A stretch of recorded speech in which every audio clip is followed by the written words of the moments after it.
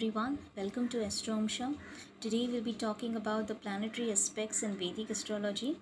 We'll be discussing about the benefics today and then we'll talk about the malefic planets in the next video. So let's get started. Firstly, what is an aspect? It is basically bringing the significance of one thing and influencing the other. We have planetary aspects as well as sign aspects. Today we'll be talking about the planetary aspects. Every planet has one and seventh aspect. What does that mean? It basically means every planet will impact the house it is placed and exactly opposite to where it is placed. However, some planets have special aspects. Let's discuss each planet. Okay. Today we are going to discuss about the benefic planets Sun, Moon, Venus, Mercury and Jupiter. Okay. Out of all the planets, only Jupiter has special aspects. So besides 1 and 7 aspect, Jupiter has special aspects. It aspects 5th and 9th house as well. Okay. Now let's discuss each planet starting with Sun. Sun's 7th aspect basically means Sun's characteristics will influence 7th house it. Sun is what? Sun is our soul and self-esteem. So, based on sun's dignity, you may feel inferior or confident towards that house. Sun is our strength, determination, and leadership quality as well. So, it will give courage and risk taking capabilities towards that house significance. Sun also uh, shows dominance and authority towards the house it aspects. Okay. Then, Moon. Moon seventh aspect means that your emotions are either supported by other people or influenced by them. What that means? Let's say your moon is in your ascendant. Now, moon now aspects your seventh house. Depending on the dignity of moon, your spouse either will nurture your emotions, you'll be emotionally supported by your spouse, your spouse will be your biggest strength, or you'll be manipulated and influenced by your spouse. You look for validation of your emotions and feelings from other people because seventh house is also the house of other people, the masses, besides your spouse.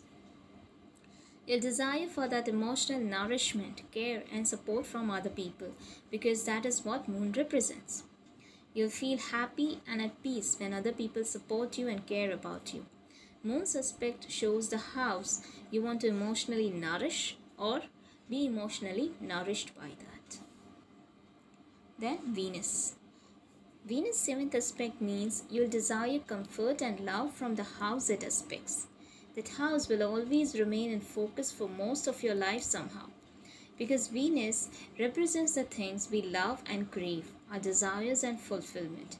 Venus is our passionate energy and things that makes us curious, interesting, okay, interested wherever the venus aspect it is the house will be interested in. It will be the house that will want to connect with to engage with.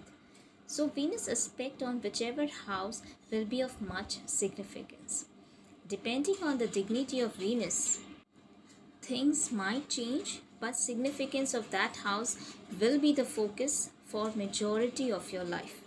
Either it will bother you or comfort you then Mercury. Mercury's seventh aspect will show what you are curious about. Mercury is communication, information and networking. So it also means that you'll be interacting or networking with the significance of that house it aspects. Your desire to engage with that house significance to know something, to get information or learn something. So Mercury's seventh aspect is what sparks your curiosity and what you want to learn about or communicate about or engage about. Then Jupiter. Jupiter's one Jupiter has fifth, seventh, and ninth aspects. Jupiter is the most benign planet and a planet of expansion and wisdom. Jupiter's aspect shows hope and positivity about that house significance. Jupiter is basically knowledge. Fifth house is basic knowledge and ninth house is ninth aspect is higher learning and divine wisdom. So Jupiter's aspect shows where your learnings are and where you turn wise about that house. Jupiter's fifth aspect is where you want to teach, discuss, share your wisdom and learnings with. And ninth aspect is where you will be learning something from. Okay. Jupiter's aspect expands the significance along with positivity and hope. Being the most benefic planet, Jupiter aspect can save the day and elevate some of your misfortune in your chart. Jupiter's aspect can help even if you have a very bad yogas or bad planet. Okay. However, the whole chart needs to be checked. Okay. So that was all about the aspects in Vedic astrology. We discussed about the benefics. For consultation, you can check out the description box below.